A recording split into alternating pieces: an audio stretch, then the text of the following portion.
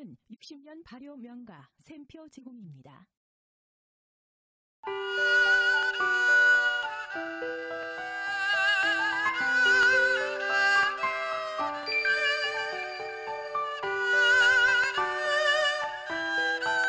천천히 제대로 담급니다. 60년 발효 명가 샘표 간장 안녕하세요. 샘표와 함께하는 이명숙의 5분 요리입니다. 백부작 특집 내장금 시리즈 보내드리고 있는데요. 오늘은 연근채 맛있게 만들어 보겠습니다.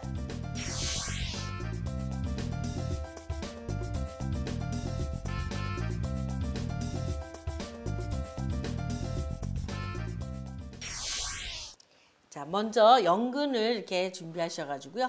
껍질은 벗기시고 곱게 이렇게 어, 썰어서 펄펄 끓는 물에 식초를 한 방울 넣어서 이렇게 살짝 데쳐주세요. 이렇게 준비를 했는데요.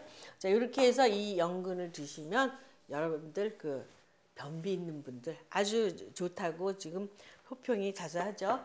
그렇게 해서 마나 연근 종류를 많이 드시면 이렇게 성인병 예방에도 좋다 그러죠. 그래서 오늘 준비한 그 소스하고 간단하게 지금 만들어 보는데요. 먼저 다운 고추하고 파란 고추를 이렇게 한번 곱게 썰어서 고명도 되고 약간 매콤한 맛도 나고 하게끔요. 네, 곱게 썰어 저면 썰어 주세요. 얄팍 썰기죠. 그래서 또 색깔도 이렇게 골고루 드셔야 건강에도 좋잖아요. 저희 오장육보에 꼭 필요한 다섯 가지 색깔들이 있잖아요. 그것들이 우리 바로 한식의 오색 고명이죠. 오방색이라고도 하고요. 자, 이렇게 오색 고명 중에 파란색하고 이렇게 해서 준비를 해서 넣으시고요. 그 다음에 설탕. 이제 소스를 맛있게 만드셔야 돼요. 그죠? 그 다음에 메가 물엿 오늘 준비를 했고요. 물엿은 하나.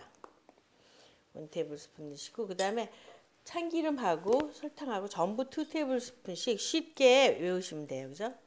이렇게 두 이 소스가 포인트예요. 그 다음에 향신간장. 오늘은 향신간장 준비했고요. 그래서 two, two tablespoon 넣으시고 그 다음에 식초만 네 tablespoon을 배로 이제 넣으시면 되는 거예요. 이렇게 해서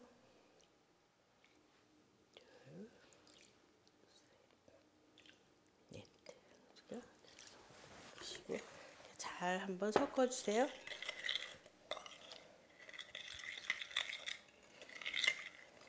이 소스가 아주 포인트죠. 이렇게 해서 맛있게.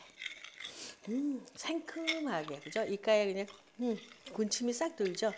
그래서 생큼하게 지금 소스 다 만들어졌고요. 만들어진 소스에 아까 준비한 지금 그 연근이죠. 연근을 이렇게 삶아서 데쳐서 물기 없이 싹 빼갖고 준비했는데요. 자, 연근을 넣어서 한번 묻혀주세요. 여기서. 네.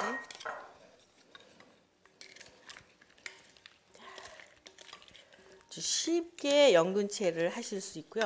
또 색깔도 예쁘고 맛도 있고 건강에도 좋고요. 그래서 연근채 오늘 금방 다 됐습니다.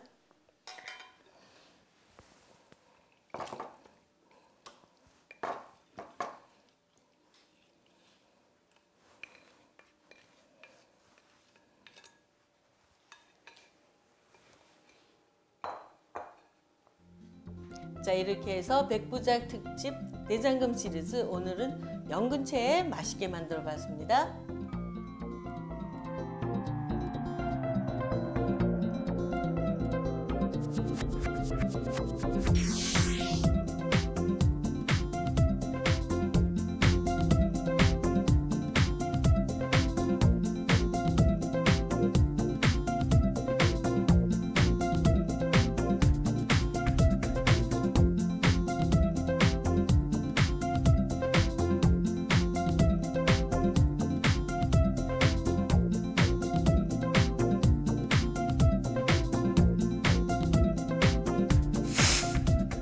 샘표와 함께하는 이명숙의 5분 요리는 페이스북 샘표 1946에서 다시 보실 수 있습니다.